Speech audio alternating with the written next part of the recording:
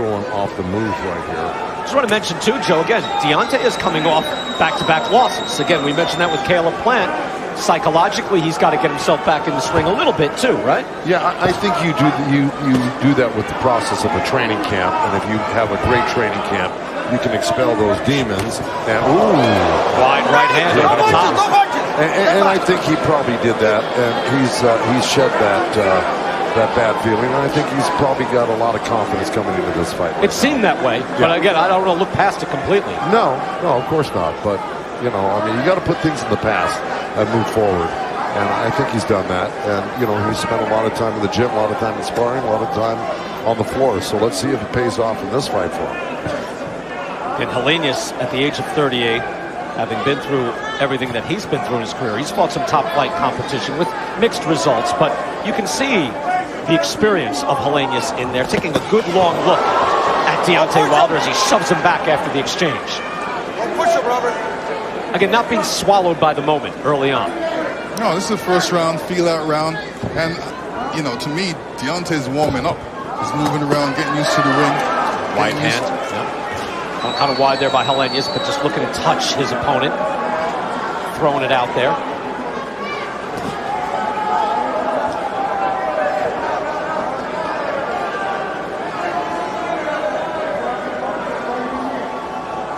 Both men in deep study of each other. Here in the first round, a lot of uh, kinetic energy, latent energy from both men. Right hand and down he goes. There it is. Good Deontay night. Wilder is back. That's what I said. Don't get hit by that right hand. Wow, wow, wow. It's over. Doctors rushing into the ring. Yo, yo, yo! Deontay Wilder with force. Yeah. Wow. Yo. Nice. Right hand. And see, 214 didn't hurt him at all. It hurt Helenius. No, it didn't hurt Wilder at all. I, I, know, I, I know. Yeah, no. I chose to ignore that. But look, I, I got to tell you, Deontay Wilder hits you with the right hand. It's just over. That's all there is to it. I mean, 99% of the time. Joe, this is why you don't follow a puncher around. Yeah. You know what it was? I think Helenius, uh, you know, got a little bit of confidence and excitement that that Wilder was on the run from him. So we right. thought, you yeah. know and then uh, you know took a couple swipes at his body and says, "Oh, this guy doesn't want to fight me," and then bang, right hand off the side of his chin, and that was it. And that could not have gone better for Deontay Wilder. I mean, early on, barely breaking a sweat, he landed three punches, and he's done. And you know what? See, I, I got to tell you, sometimes you go, what would have happened had he not put in the work? This right. could, could, have been yeah. different. But he put in the work. He put in the camp in Vegas, then moved to, uh, back to Alabama, did the sparring, put in all that work, and you know what? It paid off.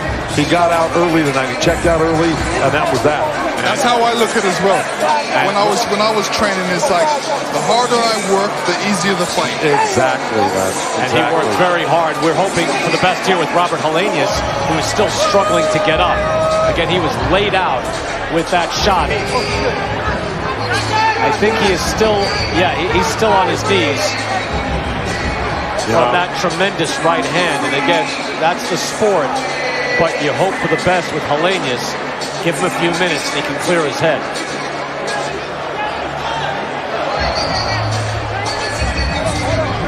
A one-shot knockout. His first knockout since Luis Ortiz, which was also a one-shot knockout with the right hand. Boom. Yeah, Laney's kind of helped to help the knockout because he was coming in, so that makes yeah. it a harder shot, exactly. especially with Deontay's power. Yeah, and Deontay just stepped over him and walked over the corner. He knew it was over. Great job, and I got to say it again. Malik Scott has found a way to get Deontay Wilder to buy into his system right now, along with Don House that he picked up as an assistant coach in this. And I'm going to tell you, it's paying off. Oh, yeah. And I think Wilder is going to have a real resurgence in the next couple of years. He's going to be. He wants to fight three more years. That's what he says. Yep. And look, that also again puts in something else into the book, another notch in the book when comparing him to if it's Rocky Marciano, Mike Tyson, Joe Louis, Jack Dempsey, Ernie Shavers, Lennox Lewis as one of the greatest punchers ever. Get rid of Tyson Fury, and this guy's record is uh, 43 and 0. Yep. Yeah, exactly, with 42 knockouts. Here it is again, so clean, so powerful. And, and you know what? That was that was almost like the uh, Muhammad Ali, Sonny Liston chop right Yeah. hand. It wasn't even a step in right hand. No. But it goes to show you the power he's got in And that's fist. a rugged guy. He is Oh, yeah. 253, and he is starched in one shot. This was no uh, phantom punch, that's for sure. And let me tell you, it's not all about the big punch all the time. It's about the short punch. Yeah, you're so right. the short punch is very effective, just like the big punch. Ali called it the anchor punch. It was initially called the phantom punch because they Right. couldn't see it. Oh, You yeah. saw that. you- you- felt it. Yeah, I, I, I got to tell you, it just goes to show you, he doesn't really need to lay into you with the right hand. Just that look. Watch his little shot right here.